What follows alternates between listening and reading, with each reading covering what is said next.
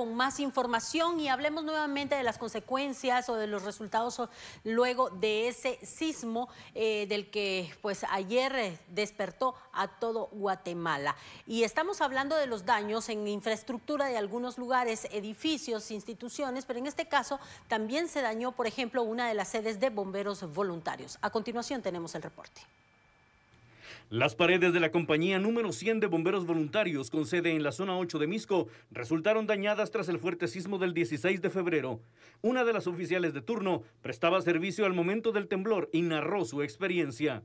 Relativamente contamos con el sistema em, portátil, ¿verdad? De radios, en los cuales pues fue mi reflejo como natural a la situación de no quedarme incomunicada con las personas y a la vez pues a ventaja de tener también un teléfono inalámbrico, en lo cual pues tomé en la emergencia por reflejo mi lapicero y salir del área porque definitivamente si era vulnerable también quedarme acá, pero contar con el equipo adecuado fue bastante eh, conformidable para poder saber que no íbamos a interrumpir la comunicación con las personas que nos llamaran. Un arquitecto perteneciente a la benemérita institución llegó a analizar los daños. Sin embargo, aún no se determina la totalidad de los mismos.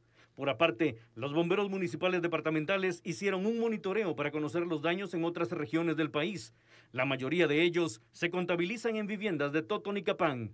Después del sismo que se reportó a eso de la una de la mañana con 12 minutos, el Centro de Coordinación de Emergencia de Bomberos Municipales Departamentales procedió a realizar un monitoreo con las 134 estaciones que tenemos a nivel nacional y eh, pues también se hizo un recorrido en las principales carreteras.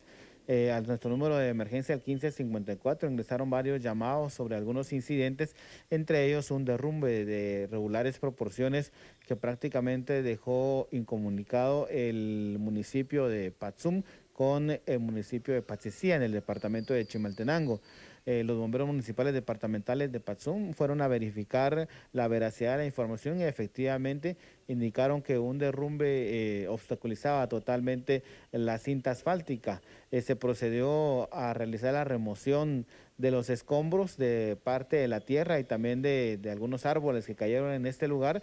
Alrededor de tres horas fue el tiempo que se trabajó en este lugar con apoyo de vecinos y afortunadamente la ruta que comunica a estos dos municipios del departamento de Chimaltenango eh, había quedado despejada.